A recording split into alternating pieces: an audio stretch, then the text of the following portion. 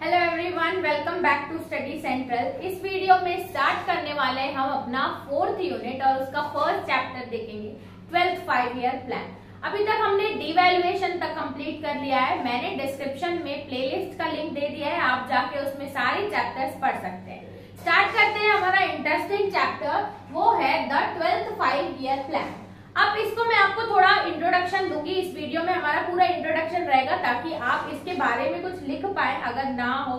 जैसे कि होता है ना, एक मार्क्स के क्वेश्चन में अगर आपको कुछ भी पता हो तो आप रिलेटेड लिख लेते हो। इसीलिए इंट्रोडक्शन से स्टार्ट करते हैं। हुआ क्या था कि जब हमें इंडिपेंडेंस मिली थी 1947 में इंडिया को तो इंडिया की जो इकोनॉमी थी वो बहुत ही खराब थी। इसके इसका agriculture sector industrial sector foreign sector सब बहुत पीछे था। अब सबका डेवलपमेंट एक बार में एकदम पॉसिबल ही नहीं था। तो हमारे इंडियन इकोनॉमिस्ट ने डिसाइड किया कि हम एक कमिटी बैठाएँगे। कमिटी फाइव फाइव इयर्स के प्लान बनाएगी और फाइव फाइव इयर्स में हम लोग टारगेट करेंगे कि फ़र्स्ट फाइव इयर्स में हम लोग कौन से एरिया को डेवलप करने वाले सेकेंड फाइव ईयर में कौन से सेक्टर को डेवलप करने वाले इस तरीके से हमने गोल्स बनाए थे कि हम फाइव फाइव ईयर के प्लान बना के फिर उनपे काम करेंगे। वो पाँच साल उसी सेक्टर में काम किए जाएँगे। अब ये प्लान बनाने के लिए प्लानिंग कमेटी की तो ज़रूरत है ना जो कि एकदम हर जगह डीपली स्टडी करके प्लान लेके आएगी। तो इसकी स्टार्टिंग हुई थी 1934 में। 1934 में हमने एक प्लानिंग कमेटी एक हमारी आई थी जो जिसके का, किसके कारण आई थी? एम विश्वेश्वरा सर थे हमारे एक जिन्होंने एक बुक प्लान इकोनॉमी पब्लिश की थी। इसके का, इसके बाद सबको एक आइडिया आया था कि हमारी भी एक इकोनॉमी या प्लानिंग कमिटी हो सकती है। तो चलिए नज़र डालते हैं। कि in India first systematic attempt कब किया गया था? इकोनॉमिक प्लानिंग का वाज मेड इन जैसे कि मैंने आपको बताया फ़र्स्ट सिस्टमैटिक अटेम्प्ट किया गया था 1934 में, कब? जब एम विश्वेश्वरा और उसकी बुक आई थी प्लान इकोनॉमी ठीक है?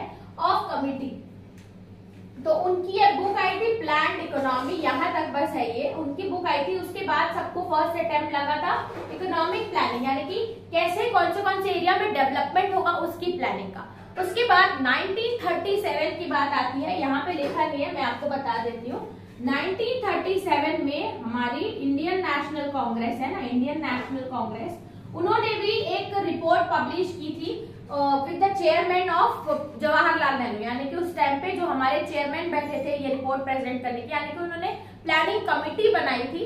इंडियन नेशनल कांग्रेस ने 1937 में और इसके चेयरमैन कौन थे? ये जवाहरलाल नेहरू थे। यानी कि ये प्लानिंग करने की कोशिश कर रहे थे। तो फ़र्स्ट अटेम्प्ट हुआ था 1934 में, जब एम विश्वेश्वरा की बुक आई थी प्लान इकोनॉमी उसके बाद सेकंड अटेम्प्ट हुआ था 1937 में, जब Indian national Indian national Congress ने नेशनल प्लानिंग कमेटी बनाई थी, जिसकी चेयरमैन कौन कर रहे थे? पंडित जवाहरलाल नेहरू। उन्होंने क्या बनाई थी? नेशनल प्लानिंग कमेटी ठीक है? उसके बाद साइमल्टेनियसली हर कोई प्लान्स करते जा रहा था कि हम कैसे अच्छा करें, कैसे अच्छा करें। सबसे पहले 34 में, फिर 37 में। फिर उसके बाद जस्ट उसके बाद, कुछ हमारे इंडस्ट्रियलिस्ट थे। Eight leading industrialist in Bombay वो लोगों ने अपनी भी एक प्लान प्रेजेंट किया। आठ इंडस्ट्रीज़ ने मिलकर जिसका नाम रखा था बॉम्बे प्लान बॉम्बे प्लान उन्होंने प्लान बना के सबमिट किया था, जिसका नाम था कब हुआ था? 1943 में। बॉम्बे प्लान उन्होंने एट इंडस्ट्रीज़ ने बॉम्बे प्लान सबमिट किया था 1943 में। इसके बाद भी और कुछ हुआ था, जैसे कि एक एम एन रॉय सर हैं, उन्होंने भी एक टेन पीपल्स प्लान या ten year ten year people's plan present किया था। उन्होंने भी प्लानिंग की थी कि टेन ईयर में हम पीपल को कहाँ तक लेके जाएँगे। तो ये सारे ड्राफ्ट थे जो प्रेजेंट हो रहे थे। एक के बाद एक, हम लोग को ये पूरे रास्ते कहाँ लेके जा रहे थे? प्लानिंग कमिटी के। लेकिन ये सब ट्रायल हो रहे थे, अभी फाइनल नहीं हुआ था। तो जो फ़र्स्ट हमारा आया था ना, ये आया था। After national planning committee submitted its long awaited report उन नेशनल प्लानिंग कमेटी की पहली रिपोर्ट यहाँ बहुत दिन से हम लोग जो वेट करते उनकी फ़र्स्ट रिपोर्ट आई थी 1948 में। तो national planning committee submitted its long awaited report in 1948 आसान है बहुत ज़्यादा। उसके बाद government of India also set up planning department अब उन्होंने रिपोर्ट सेट सेटअप की ये वाली और गवर्नमेंट ने ना प्लानिंग डिपार्टमेंट भी सेटअप कर दिया गया था 1944 में. क्यों सेटअप कर दिया गया था? ताकि जो प्लानिंग डिपार्टमेंट होगा, वो लॉन्ग टर्म और शॉर्ट टर्म प्लान दोनों बनाएगा. इसीलिए हमारा जो गवर्नमेंट ऑफ़ इंडिया थी, उन्होंने अलग से डिपार्टमेंट भी सेटअप कर दिया गया था।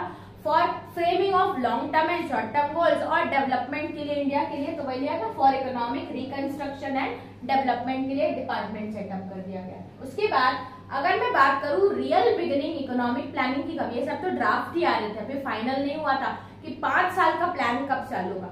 तो हमारी जो प्लानिंग कमिटी थी ना, वो एक्चुअली सेटअप की गई मार्च 1950 में। एक्चुअल उनका एग्जिस्टेंस आया, या planning committee was actually established in 1950 और इसके साथ साथ 1951 में वो अपना फ़र्स्ट फाइव ईयर प्लान लेके आए थे।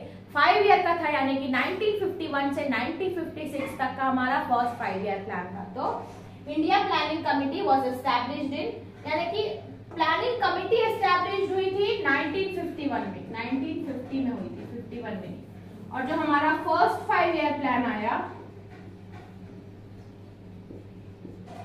फ़र्स्ट फाइव ईयर प्लान आया था 1951 में। 1951 से कब तक चलेगा? फाइव ईयर है यानी कि 1956 तो ये फाइव ईयर प्लान की शुरुआत हुई हमारी 51 से। अभी अगर हम लोग बुक पढ़ेंगे तो हम लोगों ने इलेवेंथ फाइव ईयर प्लान पूरे कंप्लीट कर लिए।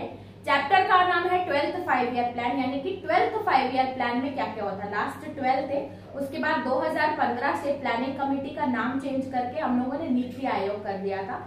National institute of transforming India तो उसके बारे में हम लोग आगे पढ़ेंगे कि ट्वेल्थ फाइव ईयर प्लान में क्या क्या चीज़ें फोकस की गई थी जो इकोनॉमी को डेवलप करने में हेल्प करेगी। तो इस वीडियो में इतना ही रखते हैं। मिलते हैं नेक्स्ट वीडियो में नेक्स्ट टॉपिक के साथ। तब तक के लिए थैंक्स फॉर वॉचिंग